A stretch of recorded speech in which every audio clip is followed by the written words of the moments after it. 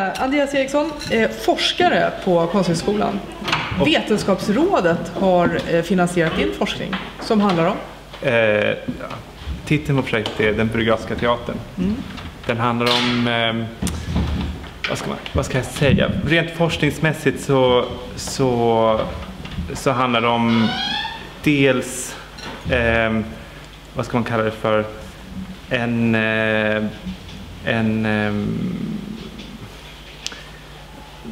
byråkratisering av samhället som skedde under senare delen av 1900-talet och där liksom byråkratin fick en kanske allt eh, starkare beslutande funktion i samhället. Mm. Eh, och, och, och således också, vad ska man säga, ett slags politisk makt. Mm. Och dels om eh, vad ska säga, byråkratins roll i, i konstnärliga arbetet Mm. och byråkrati som metod för konst. Men, men eh, om man ska vara eh, lite eh, rå och grov då, skulle du säga att i dagens kontext där vi, idag har vi ju pratat om då konstens och kulturens roll och hur, hur den kan påverka samhällsbyggandet. Har, har byråkratin blivit någon som har dödat kreativa processer?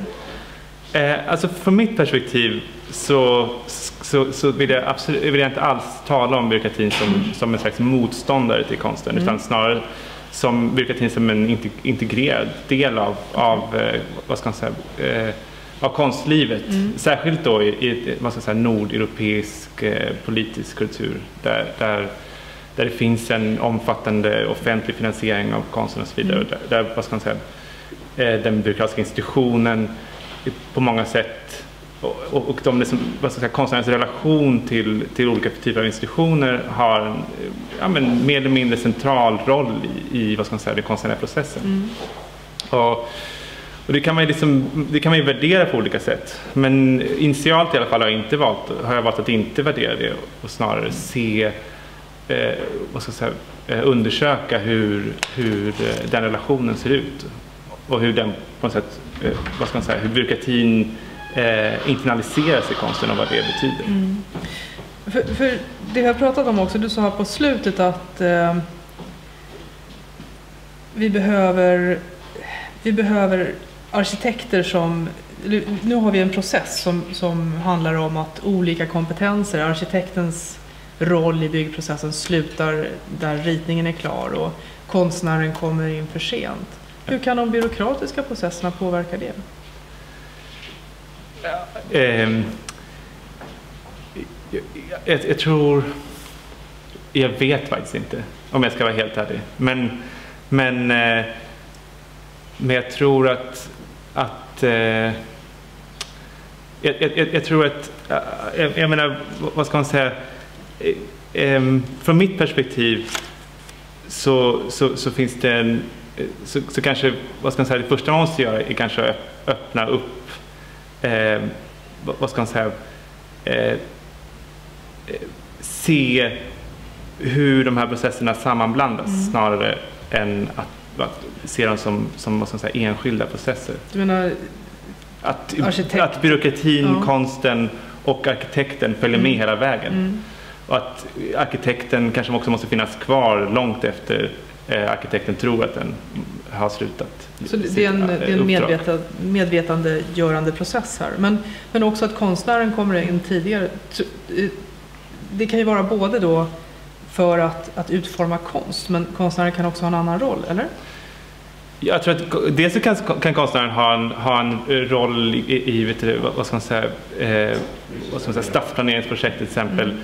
som inte alls tillskrivs konstnären i vanliga fall. Det finns många exempel på det och jag menar nu som vi, som vi talade också om i seminariet så, så har det blivit allt vanligare att kommuner anlitar konstnärer i, vad ska man säga, mer öppna eller otraditionella eh, vad ska man säga, eh, yrkesroller, vad man ska kalla det för.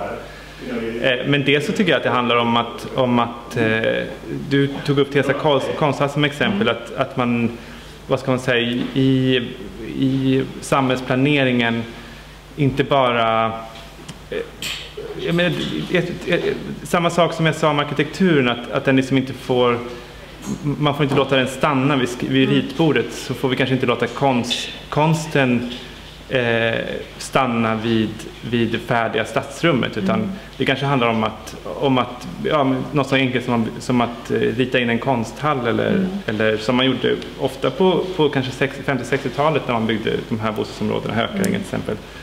Att, man, att, man, att det fanns, att man byggde ateljéer för konstnärer Mm. helt enkelt som var en del av, av stadsplanen. Du får att låta enkelt när du säger att man gör något så enkelt som att rita in en konsthall Nej, nej, men det är ett ganska konkret exempel. Det, Absolut. det behöver inte generera någonting väldigt positivt. Men, men, men det är i alla fall ett sätt att låta vad ska man säga, den konstnärliga processen och, och samtalet vara kvar. Ja, även, även när vad ska man säga, bostadsområdet är färdigbyggt. Mm. Eh, ja, vi, den här diskussionen slutar säkert inte här. Den kommer fortsätta och det ska bli jättespännande att se eh, eh, om det här eh, projektet som du berättade om här nu, när ni, in, ni ska bygga ett hus utan ritningar, bara med skrivna instruktioner. Eh, hur långt har ni kommit till det? Vi, eh, vi håller på att skriva instruktioner helt enkelt. Och vi, och vi håller också på såklart att söka, Söka eh, finansiering. Men när tror du att det här kan vara någonting vi kan titta på? Eh, Vår plan är att göra en första, vad ska man säga, idén är att det är ett långsiktigt projekt. Mm. Men vad ska man säga, den första modellen eller första försöket kommer förhoppningsvis att iscensättas i höst. Ja, jag ser personligen väldigt mycket fram emot det försöket och hoppas att det kan vara en, en eh, bra uppstart till något experimentellt. Tack Andreas för att du kom hit. Ja, tack så mycket för att jag fick vara här.